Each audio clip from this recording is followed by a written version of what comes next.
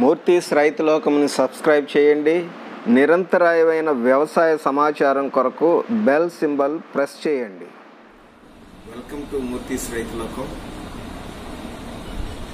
మనకి భారతదేశపు మొత్తం మీద ఇంతకు ముందు మన పూర్వీకులు అంత ఆరోగ్యంగా ఉండటానికి కారణమైనటువంటి ఆహారపు అలవాట్లలో అతి ముఖ్యమైనటువంటిది చిరుధాన్యాలు వాటిల్లోనే కొన్ని రకాలు ఈరోజు మనం సిరిధాన్యాల కింద కూడా చెప్పుకుంటున్నాం.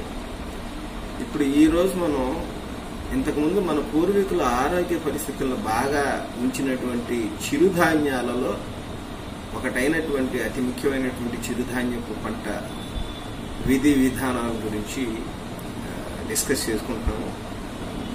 వాటిల్లో చిరుధాన్యాలు సుమారుగా మనం తొమ్మిది రకాలుగా చెప్పుకోవచ్చు. వాటిల్లో అతి అంటే సిరిధాన్యాలతో కూడా కలిపి తొమ్మిది రకాలుగా సుమారుగా చెప్పుకోవచ్చు. వాటిల్లో అతి ప్రధానమైనటువంటిది ఒకటి రాగి లేదా ఫింగర్ మిల్లెట్. దీన్ని వివిధ ప్రాంతాలలో ప్రాంతాలకు అనుకూలంగా ప్రాంతీయ పేర్లు చాలా రకాలు ఉంటాయి మన వైపు మాత్రం దీన్ని రాగి లేదా ఫింగర్ మిల్లెట్ అంటాం. మౌలికంగా తీసుకున్నప్పుడు ఈ రాగి లేదా ఫింగర్ మిల్లెట్ అనేటువంటిది ఒకప్పుడు భారతదేశపు మొత్తంలో ప్రాంతీయ తేడా అనేది లేకుండా అన్ని చోట్ల కూడా వర్షాధారంగా బాగా పండించేవాళ్ళు. ఇప్పటికీ కూడా ముఖ్యంగా మన దక్షిణాది ప్రాంతాల్లో మన ఉభయ తెలుగు రాష్ట్రాలు తర్వాత తమిళనాడు కర్ణాటక కర్ణాటకలో కూడా ముఖ్యంగా సౌత్ కర్ణాటక తర్వాత కేరళ. ఇట్లాంటి ప్రాంతాల్లో ఈ రోజు కూడా రాగి పంటని చాలా ఎక్కువగా పండించేటువంటి పంటల్లో ఇదొక ప్రధానమైనటువంటి చిరుధాన్యపు పంట అని చెప్పి చెప్పుకోవచ్చు. అసలు మనం ఈ రాగి పంటను తీసుకుంటే కనుక దీనిలో అతి ప్రధానమైనటువంటి ఉపయోగాలు ఏంటంటే కాల్షియము ఐరన్ ప్రోటీన్ కంటెంటు పీచు పదార్థం ఫైబర్ కంటెంటు చాలా ఎక్కువగా ఉంటుంది. మనం ఈరోజు వరిని తీసుకున్నా లేదు ఏ రకాల ఆహారాలు తీసుకున్నా కూడా చాలా సమృద్ధిగా ఇప్పుడు మనం చెప్పుకున్నటువంటివన్నీ కూడా చాలా ఎక్కువగా ఉంటాయి.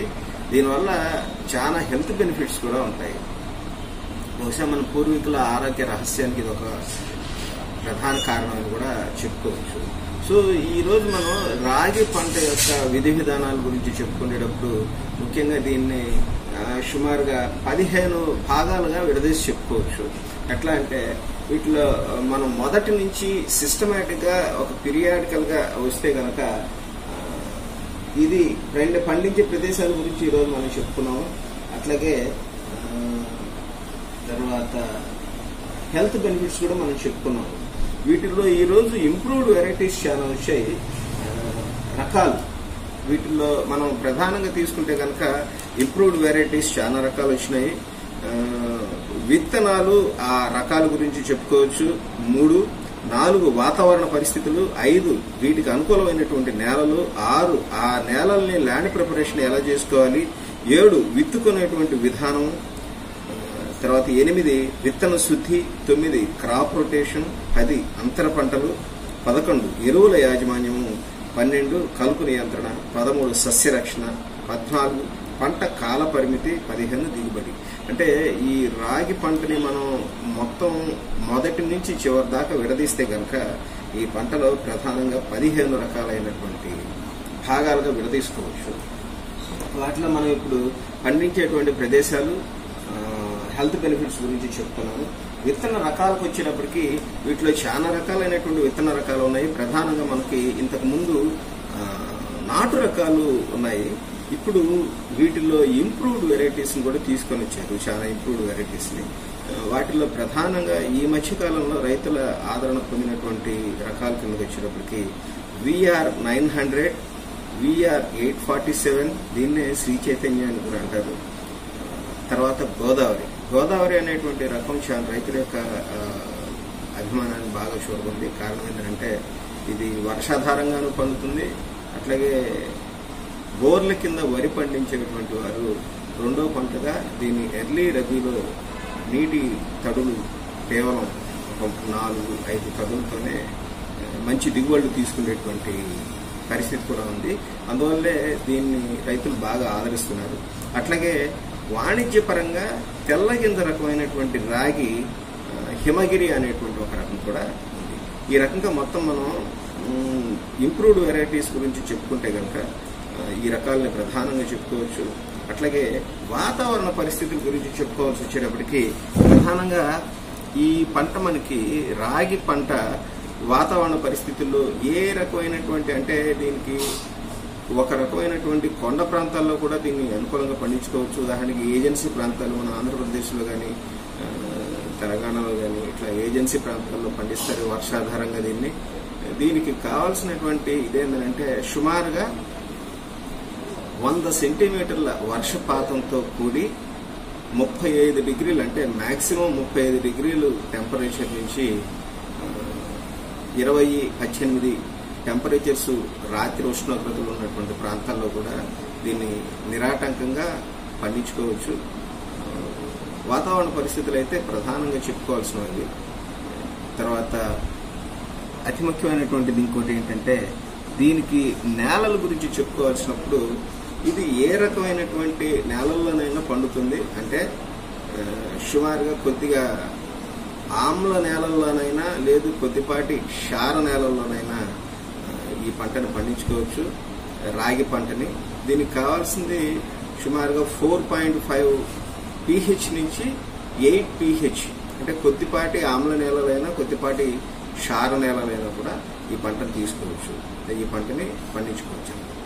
కాకపోతే దీనిలో అతి ప్రధానమైనటువంటి మనకి కావాల్సిన లక్షణం ఏంటంటే రాగి పంట మురుగు నీరు వసతి ఉన్నటువంటి ఏ రకమైనటువంటి నేలలైనా సరే అంటే నీరు నిలబడకుండా ఉండేటువంటి నేలల్లో చాలా ఎక్కువ దిగుబడి మంచి పంటని మనం తీసుకోవడానికి ఆ- ఆస్కారం.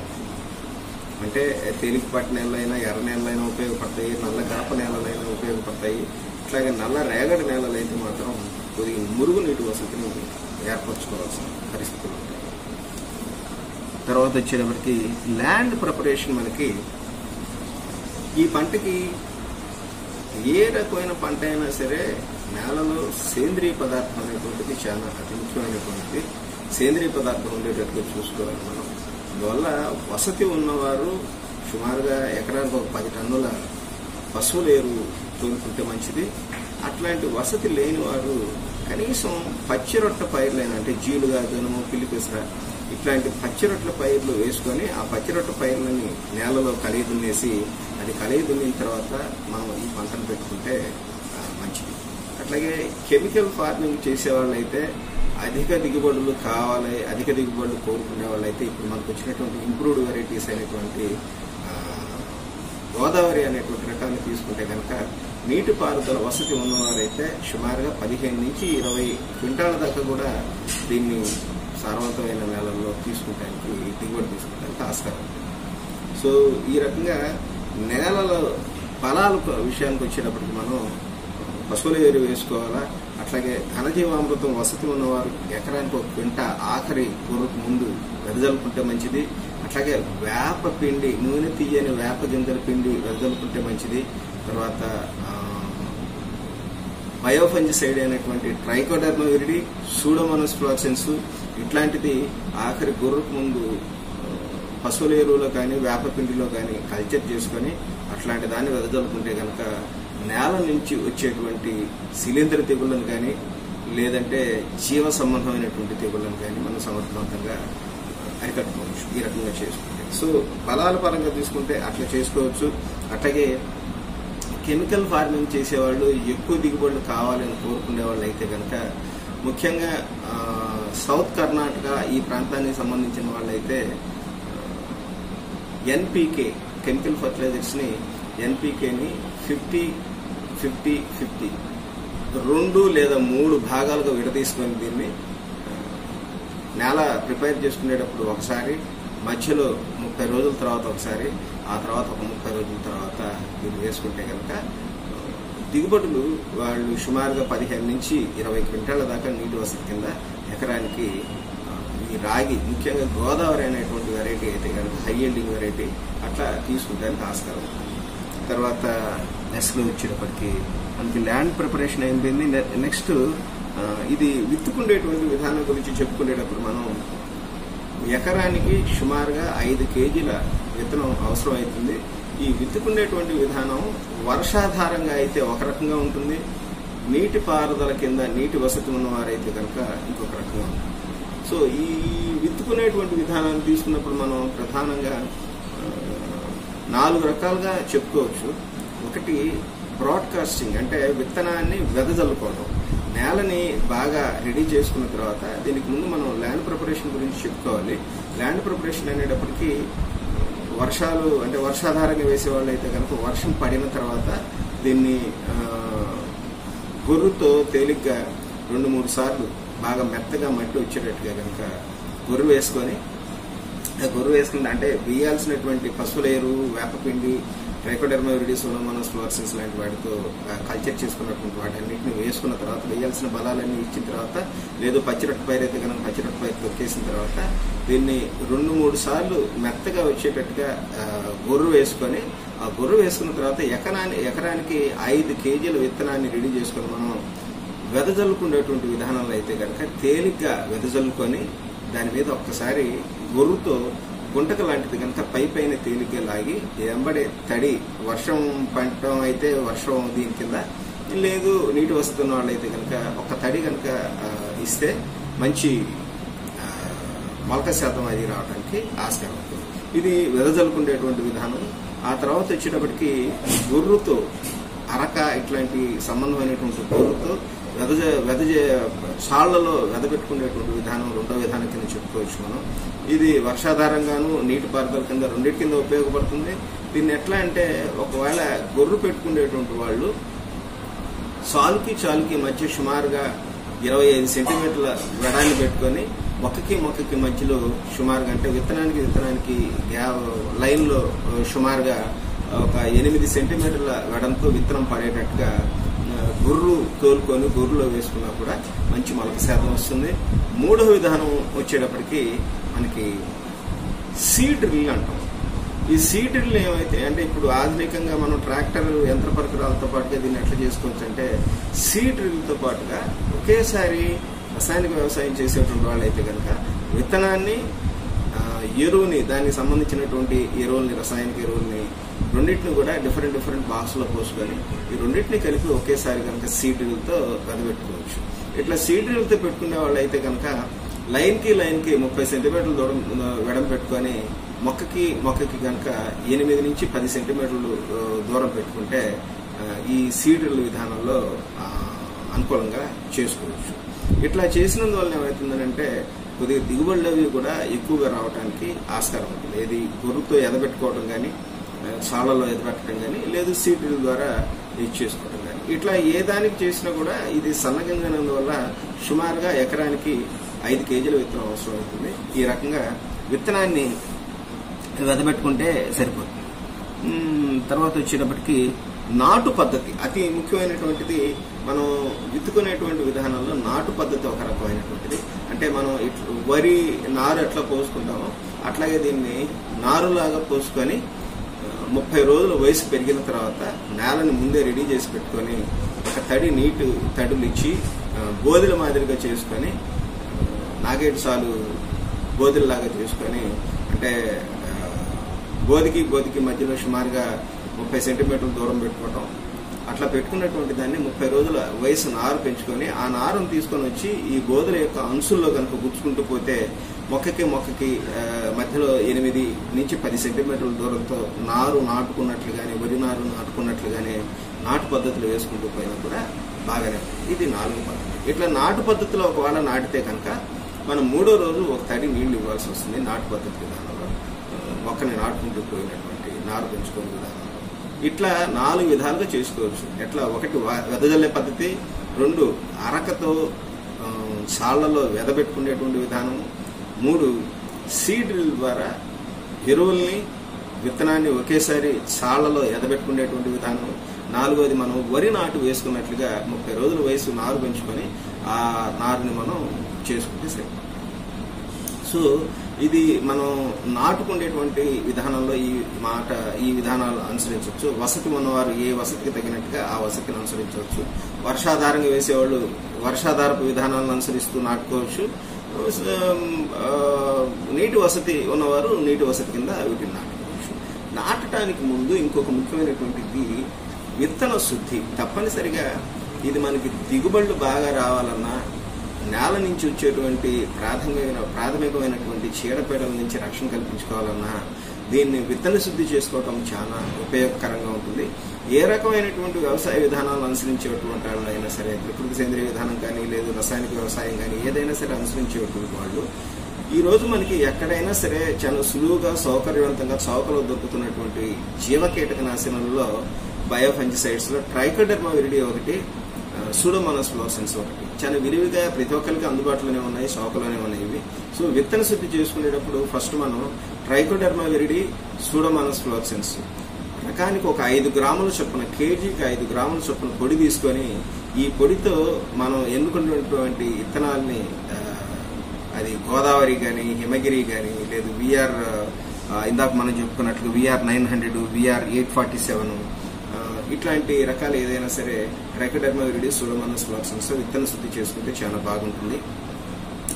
ఏ కారణం చేతైనా ఇది కుదరదు మేము రసాయనాల్లోనే చేసుకుంటాం అని అనుకునేటువంటి వాళ్ళు కేజీ విత్తనానికి కేజీ రాగి విత్తనానికి వాళ్ళు ఎన్నుకున్నటువంటి రకాన్ని బట్టి మూడు గ్రాముల కార్బన్ డిజం దీన్ని భావిస్తున్నట్టు. ఈ కార్బన్ డిజం అయినటువంటి సిస్టమిక్ ఫంజిసైడ్ని పట్టించుకొని విత్తన శుద్ధి చేసుకుంటే కనుక ప్రాథమిక దశలో వచ్చేటువంటి నేల నుంచి వచ్చేటువంటి చీడపీడల నుంచి పంటకి రక్షణ కల్పించుకోవచ్చు. తర్వాత దీని క్రాప్ రొటేషన్ అనేటువంటిది చాలా ముఖ్యమైనటువంటిది ఒకే పంటని ఏ పంట అయినా సరే ముఖ్యంగా రాగి విషయమైనా అయినా సరే ఒకే పంటని మార్చి మార్చి ఒకే నేలల్లో వేయకపోవడం మంచిది. ఇట్లా క్రాప్ రొటేషన్ చేసుకునేటువంటి వాళ్ళు అది ఏ ప్రాంతం అయినా సరే వాళ్ళ నేలని అనుసరించుకొని రాగి విత్తనాన్ని రాగి పంటని చిక్కుడు జాతి పంటలతో కనుక పంట మార్పిడి చేసుకుంటే చాలా బాగా ఉంటుంది. అట్లాగే కొన్ని కొన్ని ప్రాంతాల్లో రాగి పంటని అంతర పంటగా కూడా పండించేటువంటి విధానాలు ఉన్నాయి.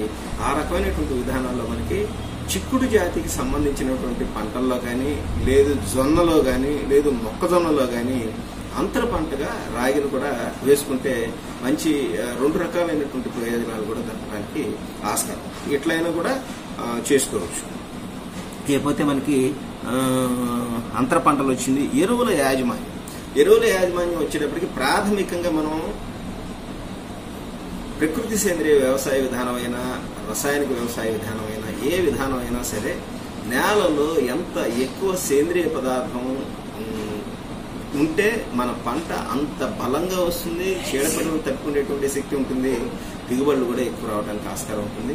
సో వసతి ఉన్నవారు పశువుల ఎరువు తోలుకోవటం అది కుదరని పక్షంలో కనీసం పచ్చిరొట్ట పైర్లను వేసుకొని ఆ పచ్చిరొట్ట పైర్లు నేలలో కలిగిన తర్వాత రసాయనిక వ్యవసాయం చేసేవాళ్ళు అయితే కనుక ఇందాక మనం చెప్పుకున్నట్లుగా ఎన్పికేని యాభై యాభై యాభై అంటే రకానికి ఎన్ నైట్రోజన్ ఒక యాభై కేజీలు ఫాస్ఫరస్ యాభై కేజీలు పొటాష్ యాభై కేజీలు మూడు దఫాలుగా విడదీసుకొని ముందు మూడు దఫాల్లో వాళ్ళ వసతిని బట్టి వేసుకుంటే బాగుంటుంది. అట్లాగే మధ్యలో ఒకసారి మన ప్రకృతి సేంద్రియ వ్యవసాయ విధానాన్ని అనుసరించే వాళ్ళైతే కనుక సప్త బీజాంకుర కషాయం కానీ లేదంటే కనీసం ఒక రెండు సార్లు మూడు సార్లు సప్త బీజాంకుర కషాయం కానీ లేదు వేస్ట్ డీకంపోజర్ మొలకల పోషక పదార్థాల ద్రావణం ఉంటుంది. ఈ మొలకల పోషక పదార్థాల ద్రావణాన్ని కానీ పైపాటు పిచికారీలో ఇచ్చుకుంటే చాలా బాగుంటుంది. ఇది కాదు రసాయనిక వ్యవసాయం చేసుకుంటాం అనుకునేటువంటి వాళ్ళైతే కనుక సూక్ష్మ పోషక మిశ్రమం ఉంటుంది. దీన్నే సూక్ష్మ పోషక పదార్థాలు అని అంటారు. ఈ సూక్ష్మ పోషక పదార్థాలని కనీసం ఒకసారి రెండుసార్లు కనుక ఫోలియర్ అప్లికేషన్ ఇస్తే మొక్కకి కావాల్సినటువంటి అన్ని రకాల సూక్ష్మ పోషకాలను కూడా మనం అందించిన వారు అవుతాము. అదే మనం ఆ, సప్తబీజాంకుర కషాయం వేస్ట్ డికంపోజర్ మొలకల పోషక పదార్థాల ద్రావణాన్ని ఇస్తే కనుక ఇంకా బాగా ఉంటుంది చౌకలో చేసుకుంటానికి కూడా ఆస్కారం. ఈ రకంగా బలాల ఎరువుల యాజమాన్యాన్ని మనం అనుసరించవచ్చు. ఆ తర్వాతి క్రమంలో కలుపు నియంత్రణ. మనం రాగి పంట ఏ రకమైనటువంటి విత్తనం అయినా సరే అది నాటు విత్తనాలైనా లేదు ఇంప్రూవ్డ్ హైబ్రిడ్ వెరైటీలైనా కూడా సుమారుగా నాటు విత్తనాలు అయితే కొన్ని రకాలు మూడు నెలల నుంచి ఐదు నెలలు ఉండేటువంటి పంట కాల పరిమితం ఉండేటువంటి ఉన్నాయి. అట్లా కాకుండా ఇప్పుడు వచ్చిన ఇంప్రూవ్డ్ వెరైటీస్ అయితే కనుక పంటకాలాన్ని కొద్దిగా తగ్గించారు. ఆ రకంగా చూసుకున్నప్పుడు గోదావరి అనేటువంటి వెరైటీ అయితే కనుక సుమారుగా నూట ఇరవై రోజుల్లో అంటే నాలుగు నెలల్లో పంట అయిపోతుంది. అట్లాగే తర్వాత తెల్లగింజ రకమైనటువంటివి కూడా అంతే నాలుగు నెలలు అంటే హిమగిరి అనేటువంటి తెల్లగింజ రకమైన ఈ హిమగిరి అనేటువంటి తెల్లగింజ రకం యొక్క ఉపయోగం ఏంటంటే బేకరీస్ అంటే వ్యాపారాత్మకంగా కమర్షియల్ ప్రొడక్షన్స్లో ప్రొడ్యూసర్స్లో కొద్దిగా రాగికి ఒక రకమైనటువంటి వాసన వస్తుంది. అట్లాగే ఎర్రగా ఉంటుంది పిండి. అదే తెల్లగింజ రకం హిమగిరి లాంటి దాన్ని వ్యాపారాత్మకంగా అయితే కొంత ఈ మధ్యకాలంలో మంచి ప్రాచుర్యంలోకి వచ్చింది. కారణం ఏంటంటే ఇది తెల్లగింజ రకమైనందువల్ల ముఖ్యంగా వాసన ఉండదు. సో చిన్నపిల్లలు లాంటి వాళ్ళు బాగా ఇష్టపడతారు. కాన్ఫెక్షనరీస్లో అంటే బిస్కెట్స్ చాక్లెట్స్ ఇట్లాంటి వాటిలో ఉపయోగపడుతుంది.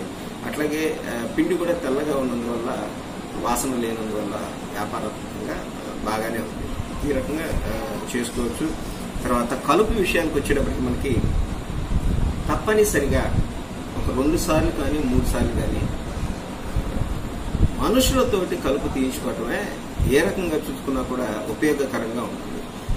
మాన్యువల్ వీడింగే బెటర్ అట్లా కాకుండా హెర్బిసైడ్స్తో కనుక వీడింగ్ చేయించుకున్నప్పుడు పంటని కోల్పోవడానికి దీంతో పాటుగా ప్రకృతిని నేలని అన్నిటిని కూడా ఇబ్బంది పెట్టడానికి ఆస్కారం ఉంటుంది. సో నాకు తెలిసినంత వరకు హెర్బిసైడ్స్ కన్నా కూడా మాన్యువల్గా ఒక రెండు సార్లు లేదా మూడు సార్లు కనుక కలుపు తీయించుకుంటే పంట దిగుబడులు చాలా బాగా రావడానికి ఆస్కారం. తర్వాత సస్యరక్షణ పరంగా చూసినప్పుడు ఇది తృణధాన్యపు పంట అయినందువల్ల ఆల్మోస్ట్ సస్యరక్షణ ఏ రకమైనటువంటి చీడపీడలు ఉండవనే చెప్పాలి. కానీ కొద్దిగా ఎరువులు వాడినప్పుడు ముఖ్యంగా యూరియా లాంటి నత్రజని లాంటి ఎరువులు వాడినప్పుడు వీళ్ళు అగ్గి తెగులు అనేటువంటిది ఒకటి ఇబ్బంది పెట్టడానికి ఆస్కారం ఉంటుంది. పోతే ఏదైనా చిన్న చిన్న రసం పీల్చే పురుగులు కానీ క్యాటర్ పిల్లర్స్ కానీ ఉన్నప్పుడు మనం ప్రకృతి సేంద్రియ వ్యవసాయ విధానంలో అయితే కనుక దీన్ని చాలా సమర్థవంతంగా అరికట్టుకోవచ్చు. కాకపోతే మొదటి నుంచి కూడా ఒక సిస్టమేటిక్గా సమగ్ర కీటక యాజమాన్య వ్యవస్థని అనుసరించాలి. అంటే ఇంటిగ్రేటెడ్ పెస్ట్ మేనేజ్మెంట్ ఫాలో అవుతూ వెళ్ళాలి. అట్లా చేసుకుంటే ఇబ్బందులు లేకుండా ఉంటాయి. ఏదన్నా ఇట్లాంటి ఇబ్బందులు ఎదుర్కొన్నప్పుడు అంటే ముఖ్యంగా రసం పిలిచే పురుగులు కానీ లేదా ఆకు చుట్టు పురుగు కానీ లేదు మువ్వతులు అంటే కాండం తొలుచు పురుగులు కానీ ఇట్లాంటి క్యాటర్ పిల్లర్స్ గొంగళ పురుగులకి సంబంధించినటువంటి పెస్ట్ ఏదన్నా పంటని రాగి పంటని అటాక్ చేసినప్పుడు దాన్ని చాలా సమర్థవంతంగా బ్యాసిల్లస్ తురుంజినిసిస్ కానీ బదేరియా బ్యాసియానా అనేటువంటి దాంతో కానీ చాలా సమర్థవంతంగా ఈ రకమైనటువంటి గొంగళ పురుగులన్నింటినీ కూడా మనం అరికట్టుకోవచ్చు. అట్లాగే రసం పీల్చే పురుగుల కిందకు వచ్చినప్పటికీ మనం జీవ నియంత్రణ విధానంలో అయితే కనుక వర్టిసిలియం లకాని అనేటువంటి ద్వారా ఉపయోగ దీన్ని అరికట్టుకోవచ్చు. ఇంటిగ్రేటెడ్ పెస్ట్ మేనేజ్మెంట్లో అతి ముఖ్యమైనటువంటిది వేప కషాయం మనం పీరియాడికల్గా కనుక మొదటి నుంచి ప్రతి ఇరవై రోజులకు ఒకసారి అంటే నాలుగు నెలల్లో సుమారుగా ఒక ఆరు ఏడు సార్లు కనుక వేప కషాయాన్ని కనుక మనం ప్రతి ఇరవై రోజులకు ఒకసారి వేప కషాయం కొట్టుకుంటే శత్రుకీటకాల యొక్క రుడ్ల దశలో ఉన్నటువంటి వాటినే మనం సమూలంగా సమగ్రంగా రసింప చేయవచ్చు. ఈ రకంగా రసం పురుగుల యొక్క శత్రుకీటకాల యొక్క రోడ్లని అదుపు చేయవచ్చు అట్లాగే ప్రకృతి వ్యవసాయ విధానంలో అయితే కనుక మనకి బ్రహ్మాస్త్రం అగ్నాస్త్రం దశపర్ణిక షాయాలతో అరికట్టవచ్చు. జీవ నియంత్రణ పరంగా అయితే కనుక రసం పిచ్చే పురుగులు వర్టిసిలిమలకానితో అరికట్టవచ్చు. అట్లాగే క్యాటర్ పిల్లర్ సెగ్మెంట్కి చెందినటువంటి వాటిని ఇందాక చెప్పుకున్నట్టుగా బవేరియా బ్యాసియాన బ్యాసిలస్ తురింజినిసిస్ అనేటువంటి ఎంటమోపాథజనిక్ బ్యాక్టీరియా ఎంటమోపాథజనిక్ ఫంగై ద్వారా అరికట్టుకోవచ్చు మనం. ఈ రకంగా చేసుకోవచ్చు. అట్లాగే ఇందాక చెప్పుకున్నట్లుగా మనం ఏదైనా అగ్గి తెగులు లాంటిది వస్తే కనుక దాన్ని కూడా చాలా సమర్థవంతంగా మనం ప్రకృతి సేంద్రియ వ్యవసాయ విధానాల్లో అరికట్టుకోవచ్చు. ప్రధానంగా ప్రకృతి వ్యవసాయ విధానంలో అయితే కనుక పుల్ల మజ్జిగ ఇంగూరు ద్రావణంతో అరికట్టుకోవచ్చు. అట్లాగే ఆర్గానిక్లో అయితే కనుక సర్టిఫైడ్ ఆర్గానిక్స్లో కూడా అను ఉపయోగపడినది ఆ, ఎలవ్ అయినటువంటి విధానము కాపరాక్సిక్లోరైడ్ స్ట్రెప్టోసైక్లిన్ మిశ్రమం కానీ లేదు వన్ పర్సెంట్ బోర్డియాక్స్ ద్రావణాన్ని కానీ ఇట్లా అగ్గి తెగులు లాంటిది వచ్చినప్పుడు వెంబడే గమనించగానే అది పెరక్క ముందు ఉధృతి పెరకముందే వెంబడే మనం కేర్ తీసుకొని దీన్ని పది పన్నెండు రోజుల్లో ఒక రెండు నుంచి మూడు సార్లు పిచికారీ కనుక చేస్తే కాప్రాక్స్ క్లోరైడ్ స్ట్రిప్టిసైక్లిన్ మిశ్రమం కానీ లేదు బోడియాక్స్ వన్ పర్సెంట్ ద్రావణం కానీ ఇట్లా చేస్తే కనుక మనం దాన్ని సమర్థవంతంగా అరికట్టుకోవచ్చు. సస్యరక్షణ పరంగా చూసుకున్నప్పుడైతే కనుక ఇది మొండి పంట అయినందువల్ల చిరుధాన్యాలకు సంబంధించినటువంటి గింజ పంట అయినందువల్ల ఏవి ఉండవనే చెప్పాలి. వాళ్ళు ఏదన్నా ఉన్నా కూడా అది అకితీగులు అనేటువంటిది ఒకటి ఇబ్బంది పెడుతుంది అది కూడా ముఖ్యంగా రసాయన వ్యవసాయం చేసేవాళ్ళు నత్రజని ఎరువులు ఎక్కువగా వాడినప్పుడు కొద్దిగా ఇబ్బంది పెడుతుంది ఇది అంతకు మించి సస్యరక్షణ పరంగా చూసినప్పుడు పెద్దగా ఇబ్బందులు ఉండవనే చెప్పాలి. తర్వాత ఈ పంట కాల పరిమితి వచ్చేటప్పుడు ఇందాక మనం చెప్పుకున్నట్లుగా యావరేజ్గా నాలుగు నెలల నుంచి ఐదు నెలలు ఉంటుంది. రకాన్ని బట్టి ఇప్పుడు వచ్చినటువంటి ఇంప్రూవ్డ్ వెరైటీస్ అన్నీ కూడా నాలుగు నెలలే ఉంటాయి. నాలుగు నెలల్లోనే అయిపోతుంది ఇది. దీనికి ముందు ఈ ఇంప్రూవ్డ్ వెరైటీస్ ముందు ఇంతకు ముందు కో అనేటువంటి రకాల్లో కూడా ఉన్నాయి. కో అనేటువంటి రకాల్లో చాలా రకాలు ఉన్నాయి. వాటిని వాడేవాళ్ళు. కానీ ఇప్పుడు గోదావరి అనేటువంటి రకం వచ్చిన తర్వాత గోదావరి రకం అన్నిటికీ ఇది ఎరగని రకం. అన్ని ప్రాంతాలకి ఏ విధానమైన వర్షాధారమైనా కూడా లేదంటే నీటిపారుదల కింద అయినా కూడా నీటి తడుల కింద అయినా కూడా గోదావరి అనేటువంటి రకంలో మంచి దిగుబడులు వస్తున్నందువల్ల రైతుల యొక్క మంచి ప్రాచుర్యాన్ని చూడగలిగింది సుమారుగా నీటి తడి కింద అయితే కనుక ఒక ఐదు తడులు ఇవ్వగలిగిన వాళ్ళైతే లేదు ఒక నాలుగు తడులన్నా కనీసం ఇవ్వగలిగిన వాళ్ళైతే కనుక ఎకరానికి పదిహేను నుంచి ఇరవై క్వింటాలు దిగుబడిని కూడా తీసిన రైతులు ఉన్నారు ఈ గోదావరి అనేటువంటి రకంతో. ముఖ్యంగా తెలంగాణ లాంటి ప్రాంతాలు అంటే బోర్ల కింద వరి పండించేటువంటి రైతులందరూ కూడా ఎర్లీ రబీలో రెండో పంట కింద గోదావరి అనేటువంటి రాగి రకాన్ని వేసుకుంటే కనుక మంచి దిగుబడులు రావడానికి తర్వాత వ్యాపారాత్మకంగా రైతు మంచి సక్సెస్ని సాధించడానికి కూడా అది ఆస్కారం ఉంటుంది. ఎట్లా అంటే ఈరోజు మనం రెండు నుంచి రెండున్నర వేల రూపాయలు క్వింటా అని అనుకున్నా కూడా సుమారుగా పదిహేను క్వింటాల దిగుబడి వచ్చినా కూడా సుమారుగా ఒక ముప్పై నుంచి నలభై వేల ఆదాయం పొందడానికి ఆస్కారం ఉంటుంది. ఖర్చుల పరంగా చూసుకున్నప్పుడు ఎకరానికి మహా అయితే పన్నెండు వేలు పదిహేను వేలకు మించవలింది ఆ రకంగా చూసుకున్నప్పుడు నికరంగా ఒక పాతిక వేల ఆదాయాన్ని పొందడానికి ఎకరానికి రెండో పంట